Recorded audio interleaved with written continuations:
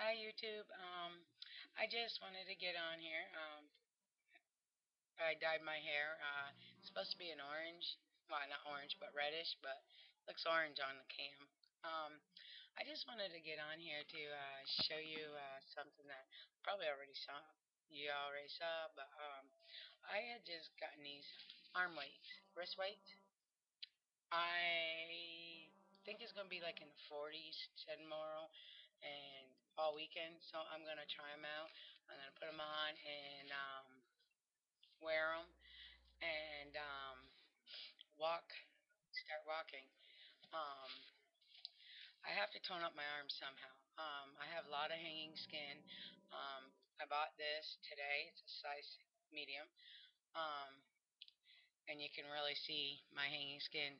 Uh, thanks to um, a video I saw, I can't remember the screen name, but um, she knows who she is. Um, she had said something about this uh, slim something um, garment, you know, for yoga and stuff like that. I just ordered me a pair, so um, I'm hoping that uh, it comes in soon. I do. Um, anyways, I gotta do something for my uh, hanging skin. My arms don't look as good as hers or most everybody's. Um, as you can see, lots of it on both arms. Um, right here is all hanging. Um, my back is like that. My back is so bad like that that it's um actually sore when I walk all the time. Um, I'm in a plateau right now. I'm still stuck at 192. I have no clue. Um, maybe I need to exercise more, maybe longer. I don't know.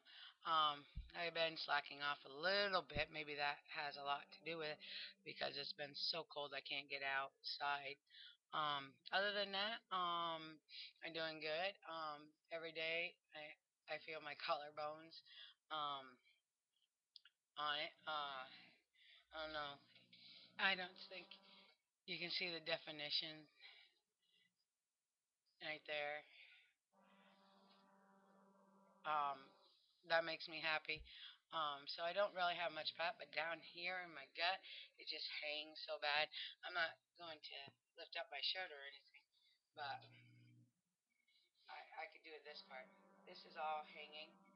I have this that hangs really bad. Um, I try to tuck it in my my pajama bottoms and everything. So I just wanted to make a quick video, show you my new finds and my new hair. Um, uh, thank you for everybody that subscribes to me and comments. And Rosemary, I'm definitely going to try your recipes. I'll talk to you later. Bye.